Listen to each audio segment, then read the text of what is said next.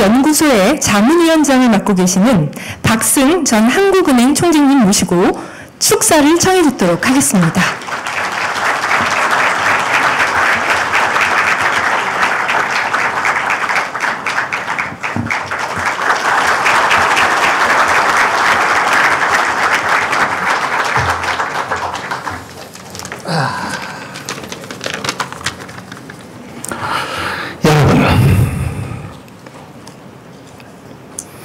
지금 우리나라가 대단히 심각한 위기에 빠져 있습니다.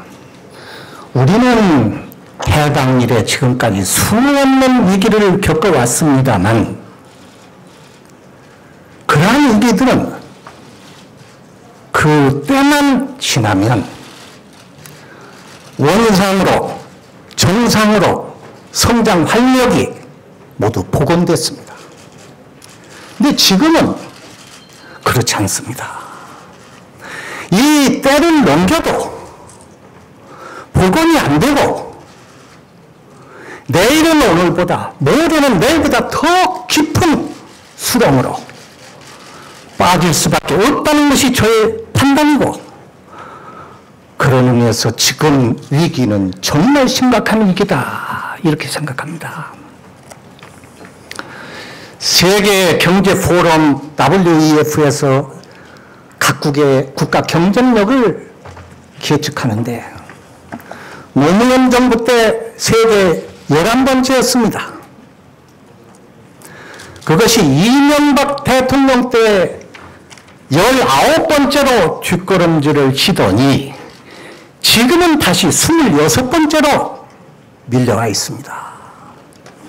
어디까지 밀릴 것인가?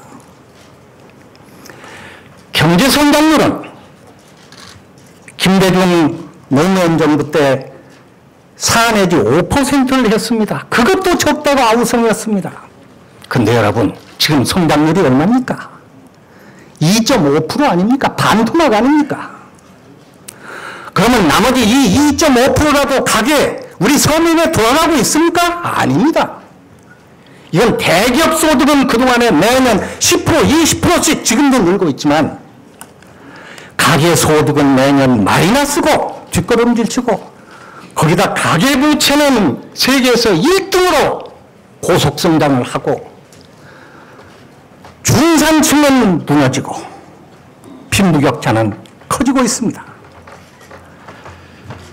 빈부는 세습되고 계층 상승의 사다리는 이미 끊겼습니다. 그래서 젊은이들이 희망을 잃고 헬조선이니 흑수전이 이런 말을 하고 있습니다. 그런데 우리 박근혜 대통령께서 이렇게 살기 좋은 나라에 왜 흑수저 헬조선하고 우리 현실을 비하하느냐 그러지 말자 하셨습니다. 질문으로 볼 때는 기득권 가진 사람들이 하는 얘기가 아닌가. 여론조사 결과 우리 젊은이들의 90%가 해일조선 흑수저에 공감한다고 대답했습니다. 이 문제를 심각하게 받아들여야 합니다.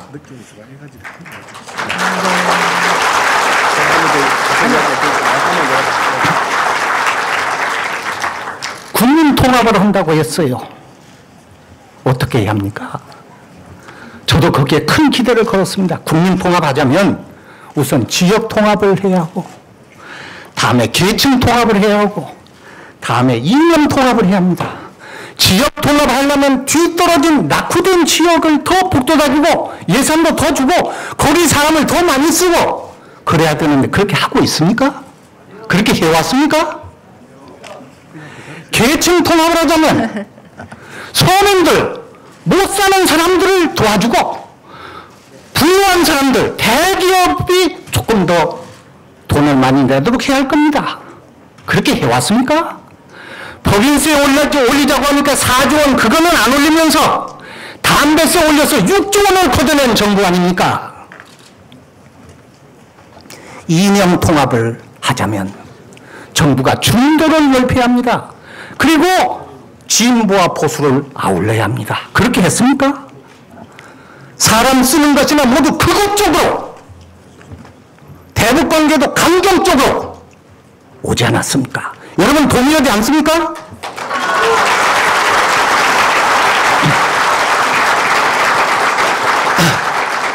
남북관계 개선을 하겠다고 했어요. 통일 대박이라고 했습니다.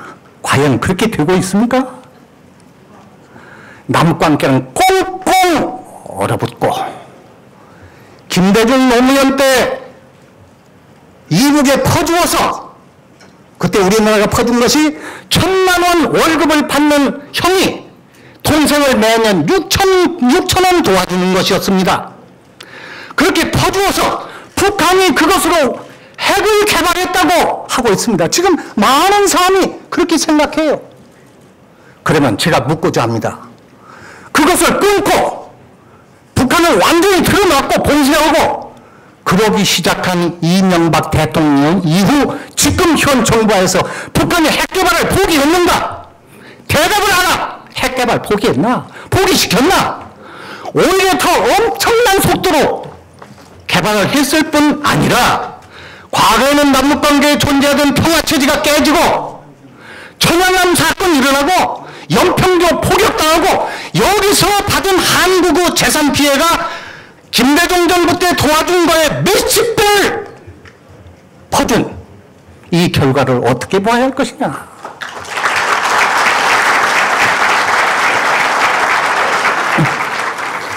여러분, 저는 근래 제가 경제학계에 있기 때문에 대우조선 사태를 눈여겨보고 있습니다. 여러분 아시죠? 수조 원의 적자를 송장이나 마찬가지인 대우조선 살리자는 관리, 살리자는 지도층의 한 사람도 없고 그 시체를 뜯어먹는 그런 관료와 정부와 모든 사람이 전념한 것을 보고 또 요즘 미르 재단이니 뭐 케이스 보스니 뭐 하는 현상을 보고 이 나라 기강이 어디까지 왔는가 하는 한탄을 금할 수가 없습니다. 여러분, 그러면 이 나라를 어떻게 할 겁니까? 수령에 빠지고 있는 이 나라를 그냥 버려둬야 합니까? 이때 지식인이 나서야 한다. 지식인이 나서야 한다. 나라 구석구석 전면적인 개혁을 해야 된다. 전면적인 혁신을 해야 된다. 이것은 산업화 시대와 민주화 항쟁 시대의 가치를 뛰어넘어야 하고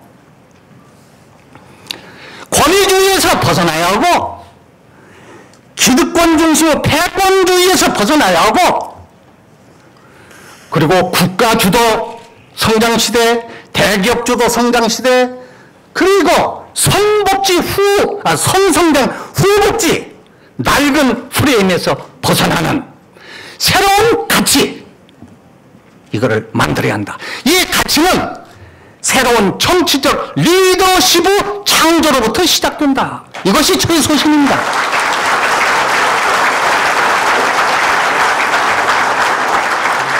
그러면 이러한 나라의 틀을 바꾸는 개혁과 혁신의 정치적 리더십을 어떻게 형성하느냐? 젊은이들이 나와야 하고, 지식인들이 나와야 한다. 제가, 저는 평생 정치에 관여한 일이 없습니다. 평생 저의 다짐입니다.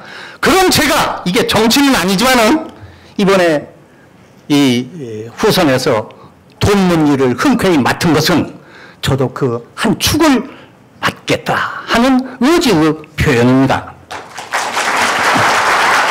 그래서 이러한 새로운 정치적 리더십은 반드시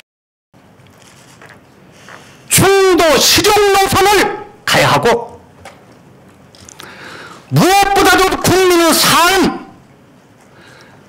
그리고 무엇보다도 국민의 안전과 마음의 평안을 추구하는 그런 리더십이 되어야 할 것이다. 저는 여기에 참여하는 우리 지식인들은 첫째, 사심이 있어서는 안 됩니다. 사심을 가진 분들은 일체 참여해서 안 됩니다.